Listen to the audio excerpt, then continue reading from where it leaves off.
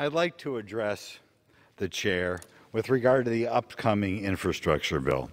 And I'm going to talk about some numbers. I don't mean to bore you with numbers.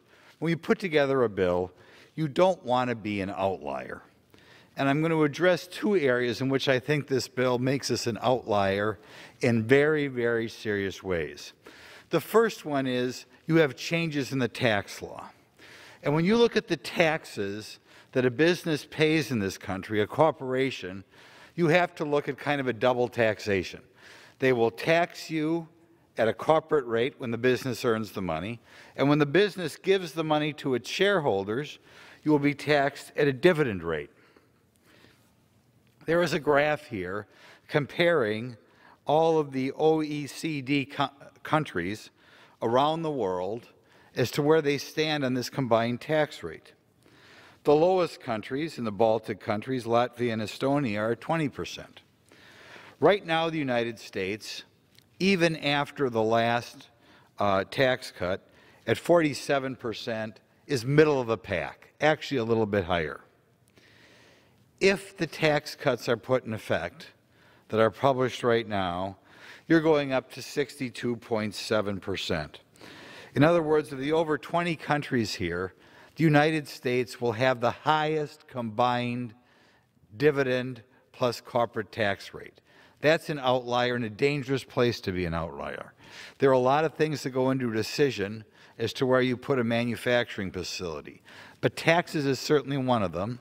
And given it, one of our goals should be to bring manufac manufacturing back to the country, it is a bad place to be as the highest combined tax rate, corporate plus dividends. The next area I'm going to address is the money supply. Uh, we have, to a certain extent, because of previous bills passed during the COVID crisis, um, had a rather dramatic increase in the money supply.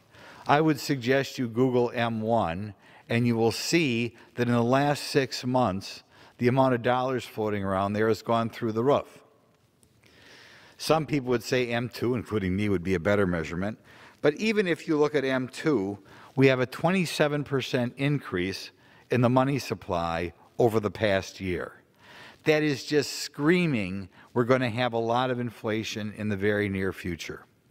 It is certainly not the only reason, but we already see the rapid increase in the house in the cost of housing construction. We see an increase in food prices and an increase in energy prices. This is given what we've already done. Now, you're going to tell us, or some people are going to say, that we are going to raise enough taxes to pay for this spending. But we're going to be raising enough taxes over the next 10 or 15 years. We know around here that when you say we're going to pay for make a pay for the next 10 or 15 years, a lot of times that pay for never materializes. So I am afraid we're going to have another big increase in the money supply when we've already had a 27% increase in the last year, and this is going to come back and cause serious concern. I beg the majority to look at a graph of the combined tax rates, us compared to the other OE, OECD countries, and beg you to look at the money supply and don't make us any more of an outlier on either. Thank you.